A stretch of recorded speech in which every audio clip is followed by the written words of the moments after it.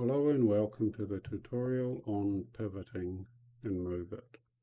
So if I open up the character and come to the movement, and I just type pivot, it will give me everything in the pivot category. Now the first decision you need to make is the pivot type. For a realistic game like say Battlefield, you want velocity in most cases, probably for Assassin's Creed 2 as well. Um, acceleration is pretty much what Mario and Zelda use and this is literally based on input. Acceleration and input are one and the same.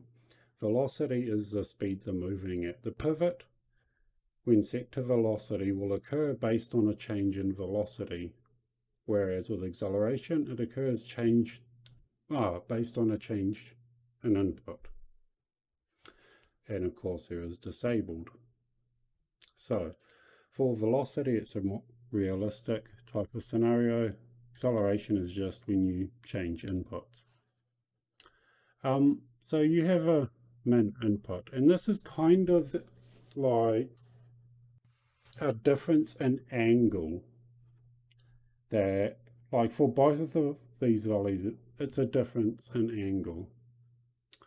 So if you do 1, then you have to go from negative 1 to 1 to cause a pivot. At point 8, you can go from, say, negative 0.8 to 1.2 to cause a pivot. That's the way to look at it. Um, so, okay. There are a lot of settings for pivoting. And of course, you can disable pivoting altogether and it will not pivot. So use max speed multiplier. Um, this one means you have to be moving at this percentage of your maximum speed to be able to pivot. If I set it to 1, you can only move, you can only pivot when you're at max speed. Uh, this here changes between a set speed that you have to be moving at to pivot and this is a percentage of your current maximum speed. So if you're crouching, your maximum speed will change, whereas this is just a hard-coded value, well not hard-coded, but a preset value, regardless of state. So it's recommended to use this one, but by default you can always pivot. Pivot min speed maintain time. So if you have a minimum speed, you have to be moving at that speed for this long before you can pivot, or faster than. Pivot duration is like it suggests. It's how long you spend pivoting. Now, pivoting can affect your speed and your acceleration and your braking deceleration. So how long you're in that duration for is how long it affects these for. But it does not simply set it to these values for this duration. It interpolates it throughout the pivot. Uh, pivot cooldown time it's pretty much self-explanatory. It's you can't pivot until zero seconds has passed since the last pivot. Um, the acceleration multiplier, speed multiplier, is basically how much acceleration and speed you either lose or gain while pivoting. Um, same story with the braking deceleration. So pivot bonus acceleration on start. Uh, let's just say give it try for it. And then we play, and we pivot, and you get a whole lot of speed when you pivot. So what this does is it allows you to drastically lose speed. But when you finish pivoting, you actually get a lot of it back if you or a little bit of it back if you so desire. So this actually gives you a boost as you start pivoting and then we have the boost as you finish pivoting. Probably makes a bit more sense except it's a bit too sudden. So it's up to you what you want to do. Maybe you want a little bit from here and then a little bit more from here. And this will allow you to keep up your speed after pivoting while still getting these slowdowns from pivoting. So you can have it actually um, give you some pretty decent uh, results without losing too much momentum and keeping the fluidity of your game going if you set it up right. So the only option we haven't covered is the direction lock time. I'm just going to set this to 1. Okay, you can't really see much because the pivot ends, but maybe I'll just set it to 1. Uh, it's doing it, it's just very hard to tell. I don't know if this will make it more obvious or not, but it's actually forcing your character to maintain the direction you are pivoting in.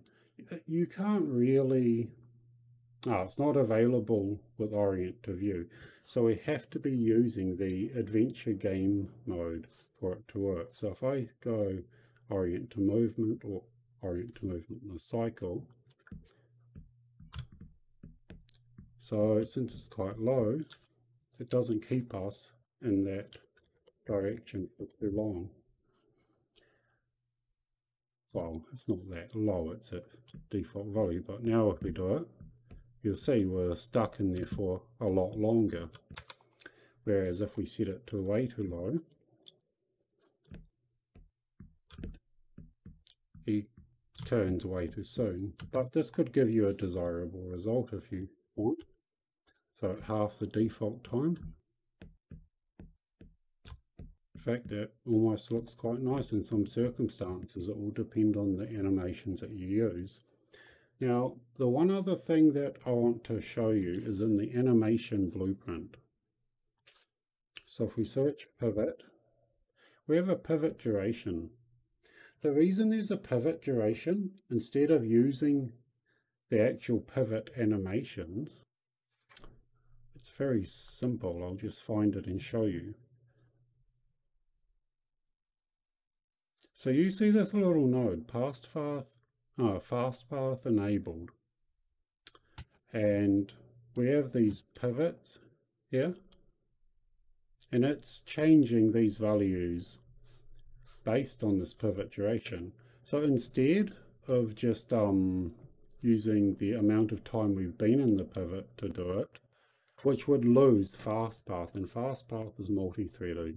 We have this here, so if I went on and I go play, you'll see the animation ends way sooner.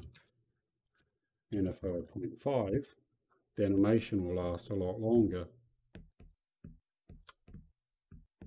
So it's set to 0.3 because it works well with the animations that MoveIt ships with.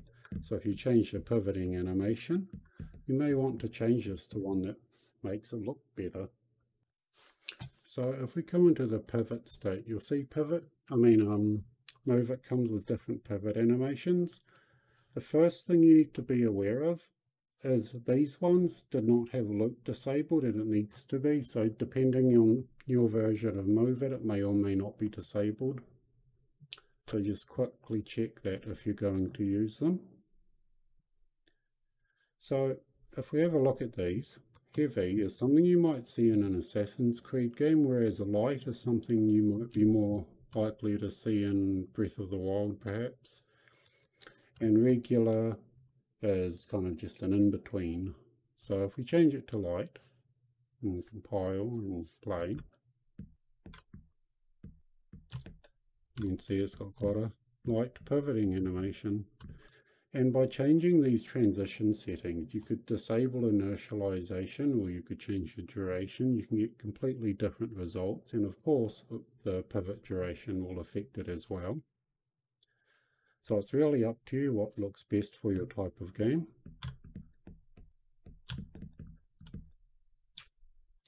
All right, thank you for watching.